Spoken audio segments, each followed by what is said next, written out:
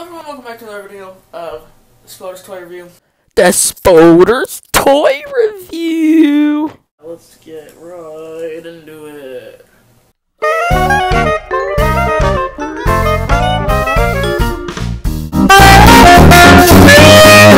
This toy is kind of a double whammy. We got two Rubik's Cubes and they're both at the point where I don't know what else to do. So, I rate it a crusty Dusty out of 10.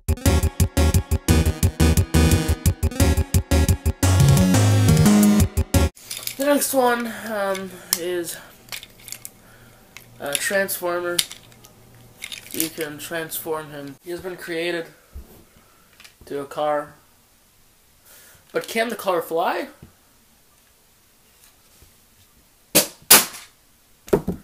No. I rate this thing a Mason is stupid out of 10. That is what I am rating it.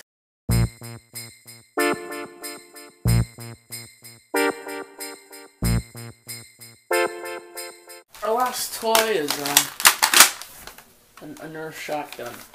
You can put eight bullets in it.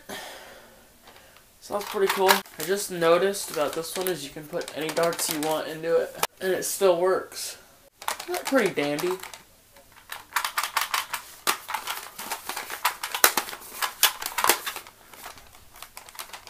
Now that we have fully gone over all of the toys, um, I am going to, to have a part of the video, I'm adding this, that we are going to be truly testing out all of the toys' capabilities.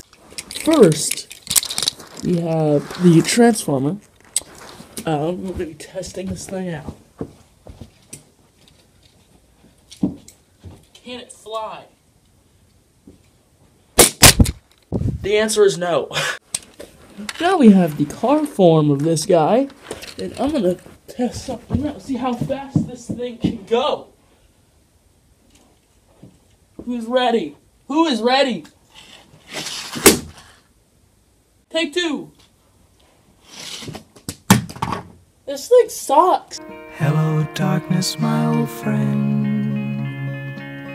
I've come to talk with you again. That was pretty good.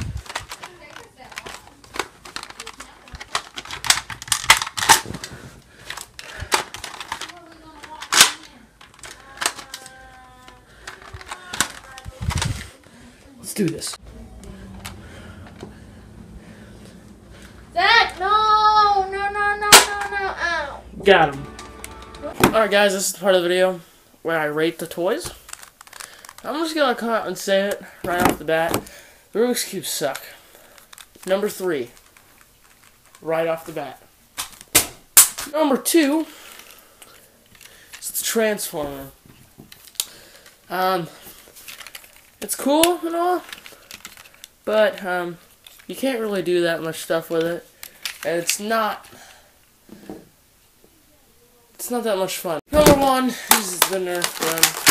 Oh, you can do a lot of stuff with this. You can torment people with it, and you can make funny stuff. Thank you for watching, and I'll see you guys in the next video. Thank you.